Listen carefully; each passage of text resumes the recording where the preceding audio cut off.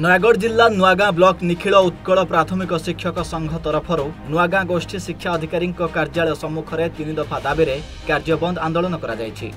ଏହି ଆନ୍ଦୋଳନ ଦ୍ୱାରା ବିଦ୍ୟାଳୟଗୁଡ଼ିକରେ ଛାତ୍ରଛାତ୍ରୀଙ୍କ ପାଠ ପଢ଼ାରେ ବ୍ୟାଘାତ ସୃଷ୍ଟି ହୋଇଛି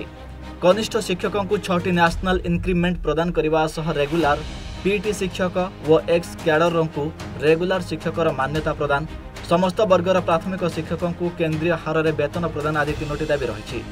ଏଥିସହିତ ନୂତନ ପେନ୍ସନ୍ ଉଚ୍ଛେଦ କରି ପୁରାତନ ପେନ୍ସନ୍ ବ୍ୟବସ୍ଥାର ପୁନଃ ପ୍ରଚଳନ କରିବା ନେଇ ମଧ୍ୟ ଦାବି କରାଯାଇଛି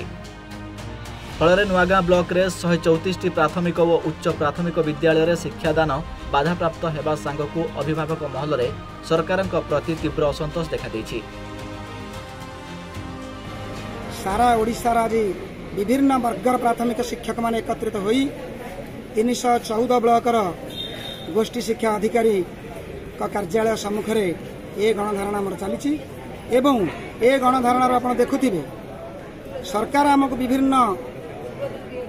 ଭାଗ ଭାଗ କରି ଖେଜାରେ ପରିଣତ କରିଥିଲେ ମଧ୍ୟ ଆମେ ସମସ୍ତ ପ୍ରାଥମିକ ଶିକ୍ଷକ ଆଜି ଏକ ଏବଂ ଏ ଏକତା ବଳରେ ଏ ଆନ୍ଦୋଳନ ଏ ସମସ୍ତ ଦାବି ହାସଲ କରିବା ପର୍ଯ୍ୟନ୍ତ ଏହିଭଳି ଅବସ୍ଥାରେ ଚାଲୁ ରହିବ ଆବଶ୍ୟକ ପଡ଼ିଲେ ଆସନ୍ତା ନିର୍ବାଚନରେ ମଧ୍ୟ ଏ ସରକାରକୁ ପରିବର୍ତ୍ତନ କରିବା ପାଇଁ ଏ ଶିକ୍ଷକ ସଂଘ ଯଥାରୀତି ଚେଷ୍ଟା କରିବ ଓପିଏସ୍ ଶିକ୍ଷକ ସମୂହ একতা ভাবে নিষ্পতি নিয়েছু সরকার যেতে দিন পর্যন্ত আমার দাবি অন্নপাত করবে না আমি সেতে দিন পর্যন্ত বিদ্যালয় তালা বন্ধ রাখি প্রতবাদ যোগ পিলাঙ্ পাঠপড়া সহ মধ্যাহ্ন ভোজন বন্ধ রয়েছে সূচনা মিছে এই আন্দোলনের চারিশহর ঊর্ধ্ব শিক্ষক শিক্ষয়িত্রী সামিল হয়ে হেতু উক্ত বিদ্যালয় বিদ্যালয়গুড়িকরে তালা ঝুলুয়া দেখা মিলে